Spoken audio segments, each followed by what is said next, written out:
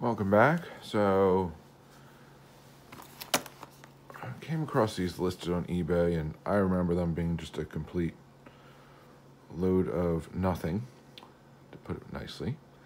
But I was kind of wanted to revisit just for nostalgia's sake. So this was put out in I believe the late '90s. Win Rollie Fingers stuff yak packs. Um, so there's all these different giveaways of um,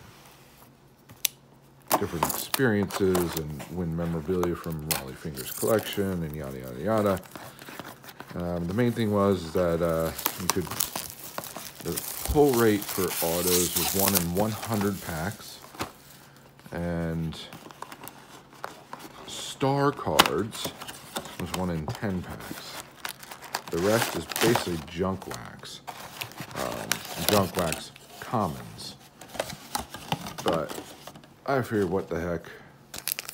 Um, a long pack, so the benefit of that is, and again, none of these cards are be of significant value, so I just generally cut the top a bunch of them. This is going to take a little while.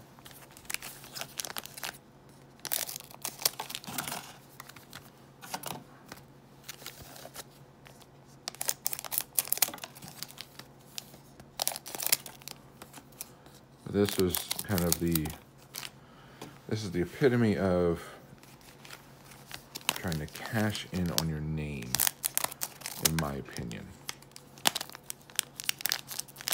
So, you know, basically a company went up to Rollie Finger said, hey, we want to use your name. We want to sell junk wax because there's a lot of it and it's dirt cheap. But if we get your name, we can, you know, put these boxes together. And I think at the time, you know, sell them for like 10, 15 bucks or whatever, um, or 20. I cannot recall. Um, and we can basically just take people's money because you're going to get not a lot, to put it nicely, out of these packs. And we'll have, you know, kind of insane pull rates and, yeah, we'll throw an auto in there once in a while. Uh, so, and fingers that, you know, as many of his particular era and situation they're in, you know, a lot of them are making money on signing cards. Um, this is not the big dollar um, baseball when he was playing in the 60s, 70s, and 80s.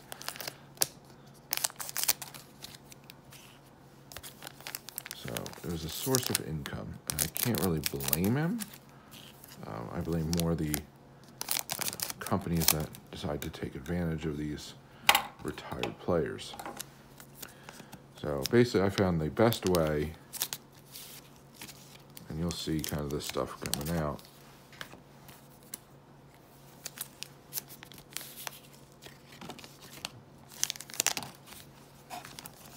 This is more of a a nostalgia rip for me, but it's kind of a cautionary tale for those that may see these, especially any um, anybody just getting into the hobby and you see something where it's like, oh, it's you know vintage cards, repacked vintage cards.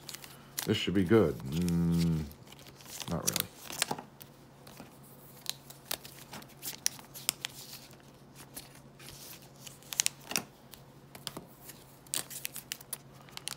Because even when you pull a star card, uh, if that star card is from, you know, 90 Fleer, you know, that star card might be worth 25 cents. Maybe. Maybe. Um, and to be fair, I did open three boxes previously. Uh, four boxes previously. Just for the sake of ripping something. So I don't just go buy something more expensive and just to rip it. You know, buy the cheap stuff because I picked these up for a few bucks a box. Um, it may have been five bucks. Um, the cases were six boxes a piece, so I don't even think it was that much. There's it's like three or four bucks a box.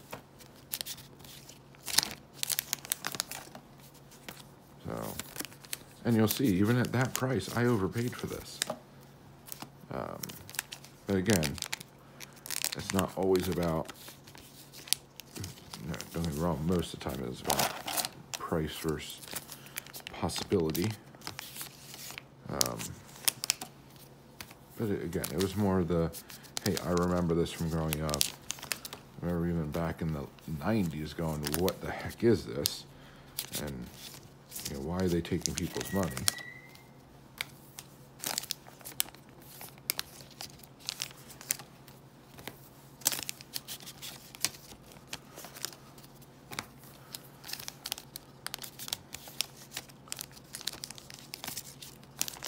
I get that last 90 Fleer out of there. All right. So again, you're going to see a lot of not good stuff pulled out of here, to say the least.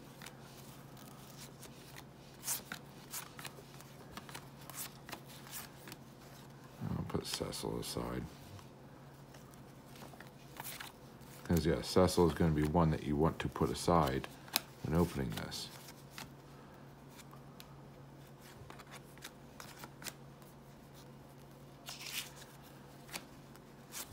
this uh, particular product, local boy, did not fare well for Rollie Fingers' reputation. Now, theoretically, in one of these two boxes, there should be an auto. Because I did open, as I said, four boxes prior to this without anything. Um, there's a couple nice older stickers Hall of Fame players, but I got no autos or any of the hits. No Philly boy.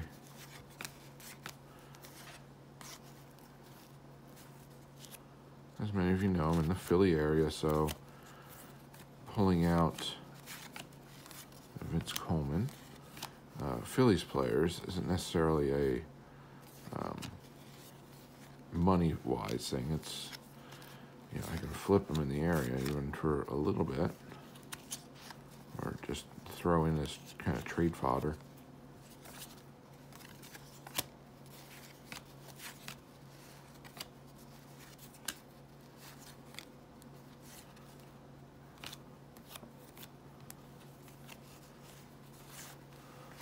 and then yeah, you'll you'll get a lot of repeat in a, any given box, and not just of product, like of specific cards.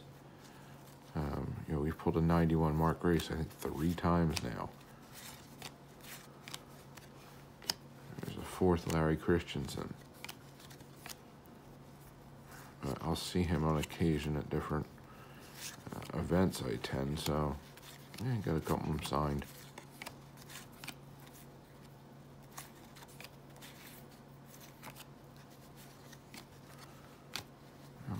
Nice stack of those.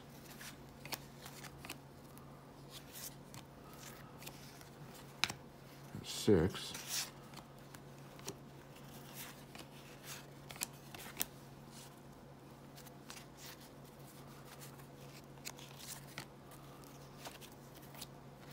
Galarraga. There's a Hall of Famer. As well, their seventh Larry Christenson, I believe.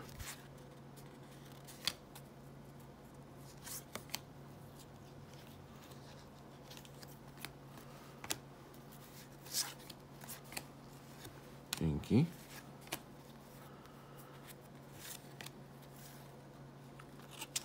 really like pulling aside. I eventually just get rid of them, but it's kind of a reaction. Oh, there's a Sabo. Put that aside.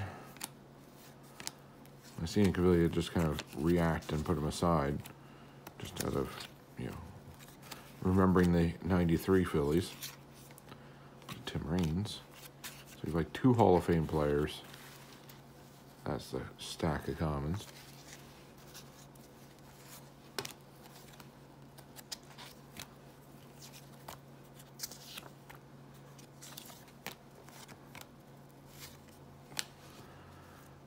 Gretzky.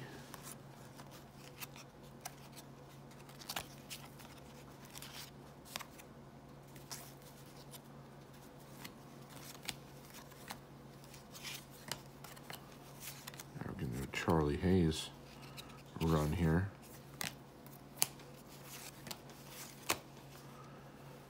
Jeffries, there's Dale Murphy. Eventually might be a Hall of Famer.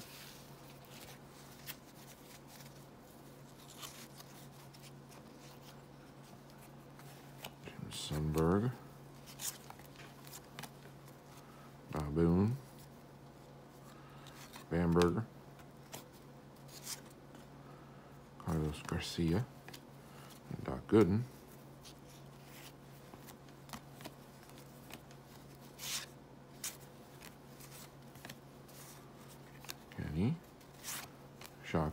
Christenson.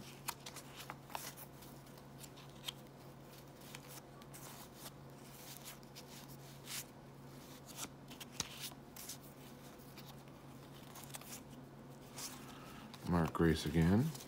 So that's the breakdown of one box. Giant pile of junk wax. Small pile of junk wax. Let's just kind of divvy these up, shall we?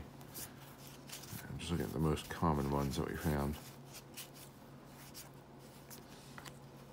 There's two, two, three, four, four, five, five, six, six, seven, seven, eight, eight. We got nine Larry Christenson cards, eight Mark Grace cards. Fortunately, these are good ones to have signed. So I will put these aside for that specific purpose. But that's the basic breakdown of one box. So we're gonna see if there's anything in the second box, and after that, we're just gonna burn them.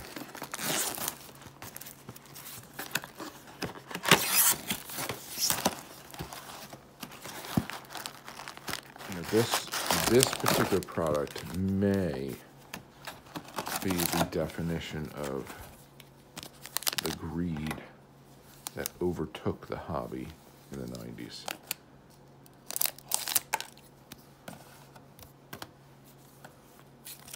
Because again, now you've seen exactly what has been pulled from one box. And you can see the branding of you know, Hall of Fame player on the box itself, on the product.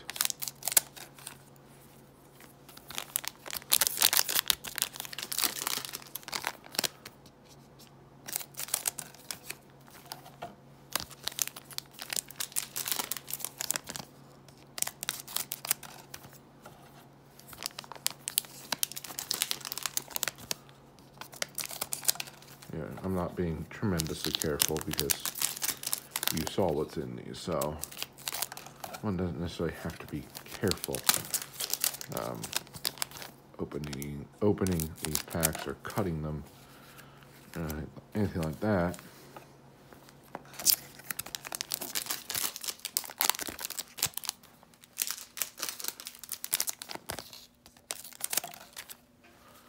Believe me, this is the most efficient way because these packs are not fun to open. Just taking the packs aside and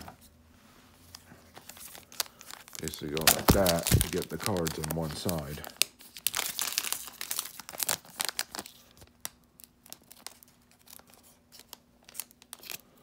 Cutting cardboard. Watch that be like the one good card out of it. Uh, oh, no, Dwayne Kirby, I'm good.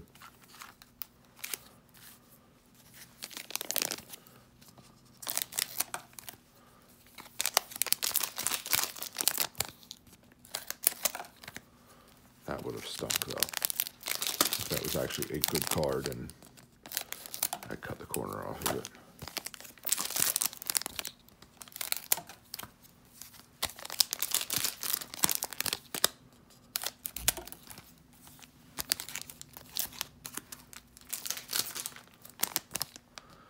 So yeah, this was a great way to tarnish a Hall of Fame career. And it is at least refreshing to see um, Hall of Famers or future Hall of Famers uh, tarnishing their careers in, in a different way. Um, you know, buying baseball teams, trading and selling all their good players, um, which is a shame because they were great players on the field. They just stink off the field.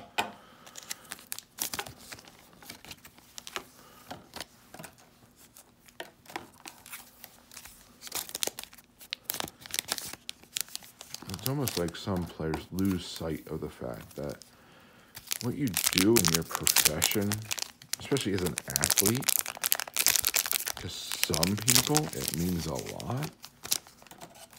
But at the end of the day, your reputation, your name is everything.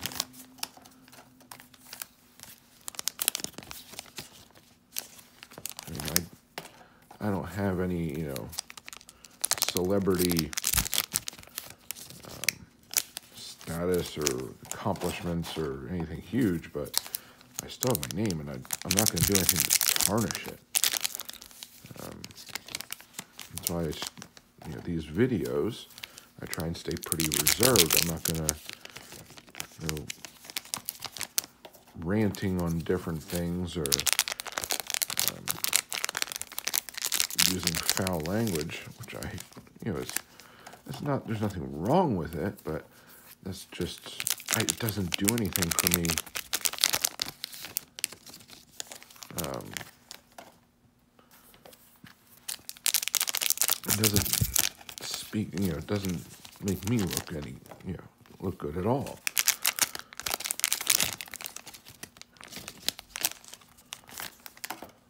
And I want to maintain at least, some semblance of a, a, a good reputation to the best of my ability.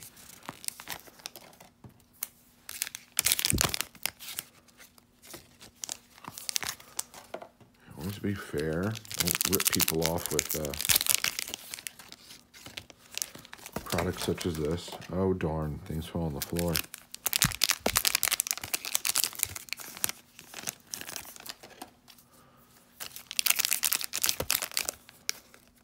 Yeah, I'm whacking the camera. Eh,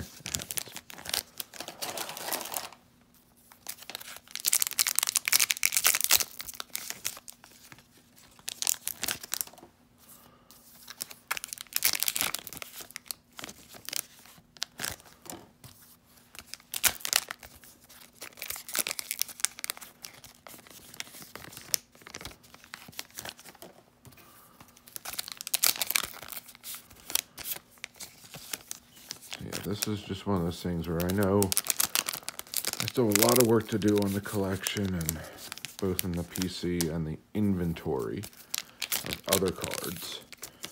Um, I just have a lot of stuff piled all around me. Including a few things I had to pick up recently.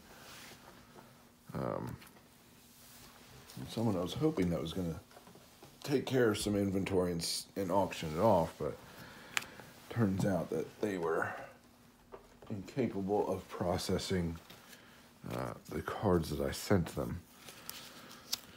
It's a long story. I'm not going to badmouth anybody, but it was frustrating to say the least. All right, so let's just see what's in this second box, which I would assume is much of the same. Remember, we still haven't gotten an autograph. Of course, odds are nothing but numbers on a wrapper until you actually pull something. Oh, another Sabo, so winning there. Sheesh.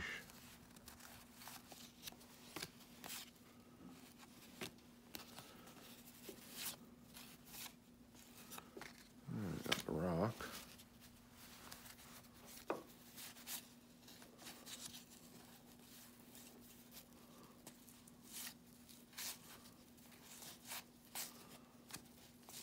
Yeah, who was hoarding Larry Christenson cards? Yikes. Ooh, two a hot box.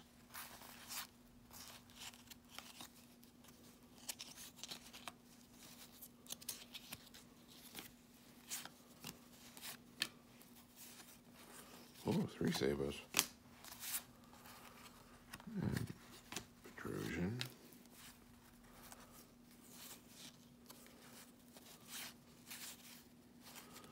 Uh, Tim Raines.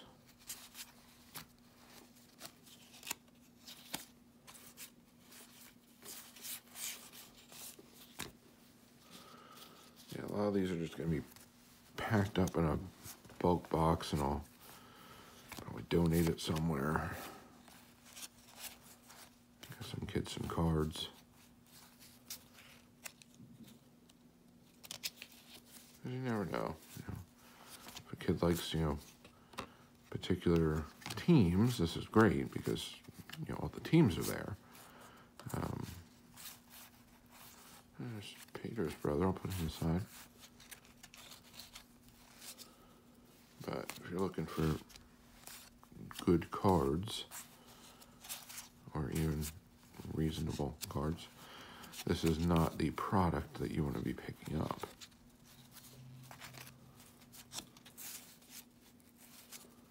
I remember Tomlinson.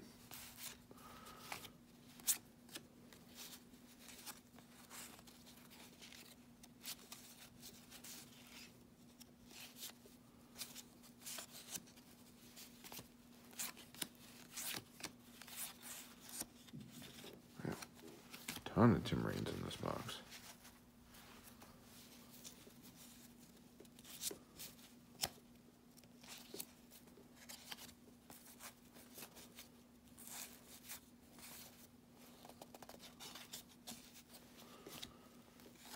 Kirby again.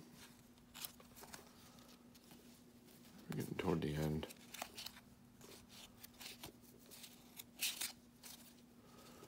Milt Thompson. I think that's his rookie. Not sure. 93 Phillies player. All the crud that's in each one of these packs.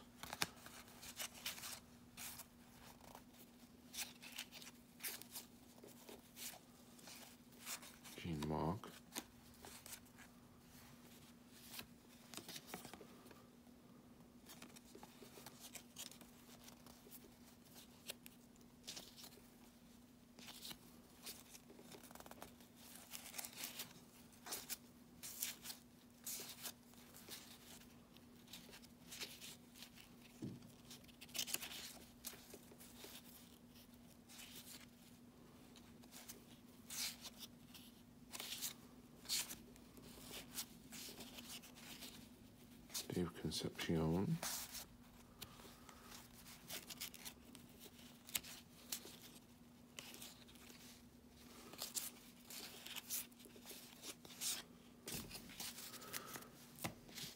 So this is the final little stack of cards here. David Wells. Which, yeah, David Wells is the highlight. It's not a good product.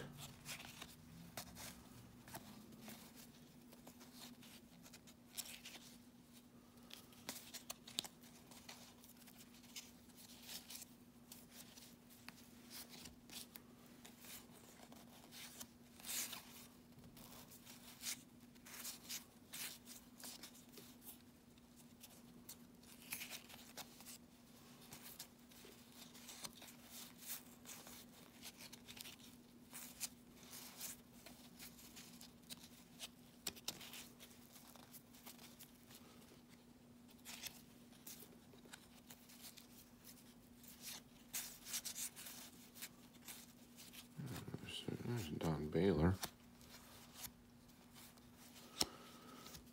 Hrbek.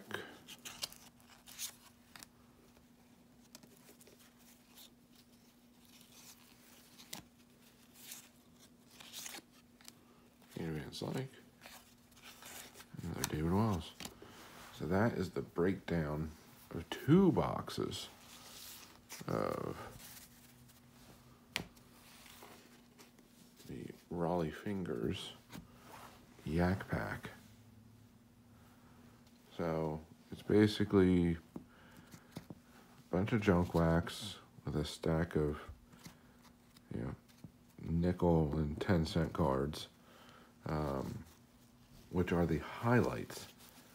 Um, everything else is junk, so it's, you know, you know, a penny a card essentially, just on volume.